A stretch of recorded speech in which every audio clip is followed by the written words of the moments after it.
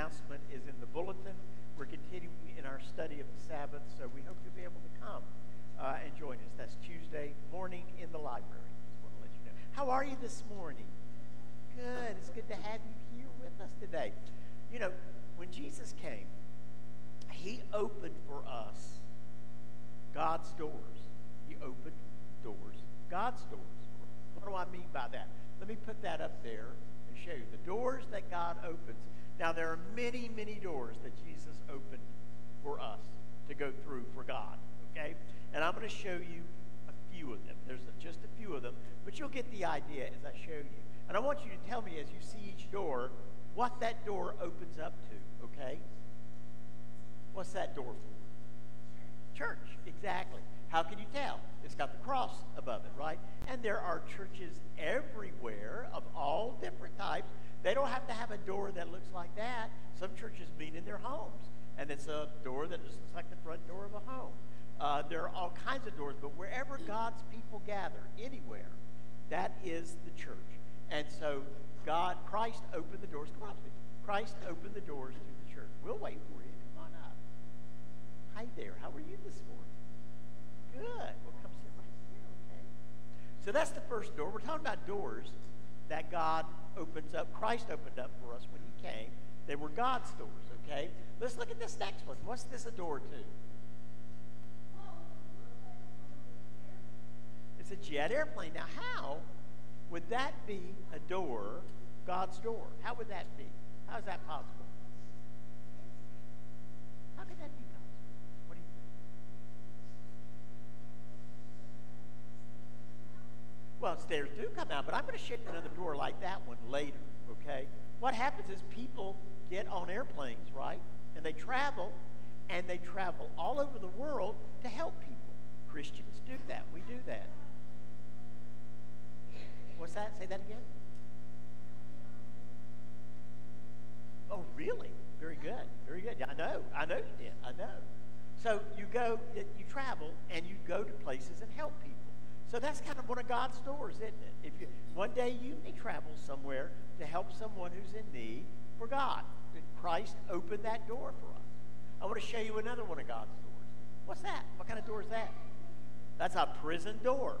Now, what do I mean by saying that's one of God's doors. Well, it's yeah, but you're right. It's a prison door. But you'll notice that Jesus told us to go visit the prisoners, people who were in prison.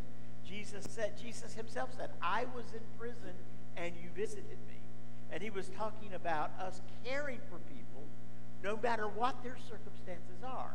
And when I have worked in a prison before and gone to visit these folks and and uh, prayed with them and helped them with their families. It's a wonderful thing to do. But yes, he told us, to, God told us to go, that's one of God's doors that we're to go through and help people who are suffering greatly. Uh, all of them, okay? Let's look at another one. What doors are those? Not office, but close, close.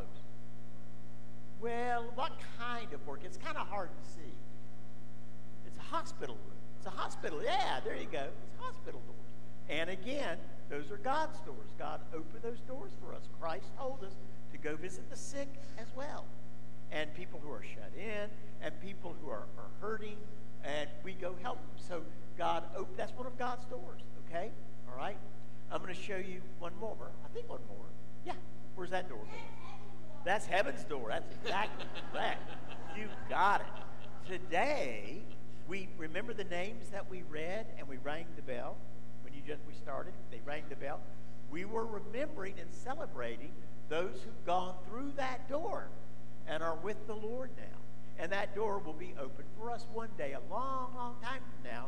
But Christ taught us that that door was open to us, and God opened it for us to be with God forever. And that's a wonderful, wonderful thing. Let's bow our heads and pray. What were you going to say?